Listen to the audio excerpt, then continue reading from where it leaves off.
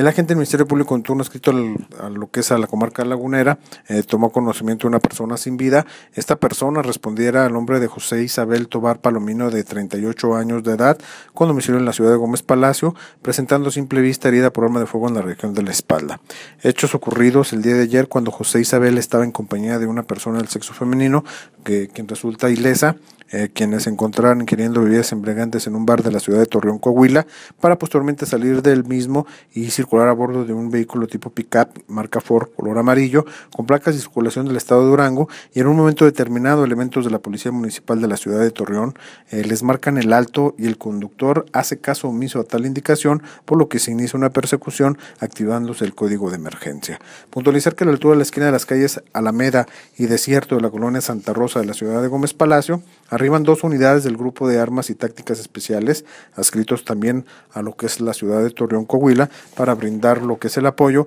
y posteriormente realizar disparos a la camioneta en la que viajaba el ahora occiso, resultando lo antes descrito. Cabe señalar que respecto a este hecho, la Fiscalía General del Estado de Durango está realizando las diligencias necesarias para el esclarecimiento del mismo y determinar la responsabilidad correspondiente.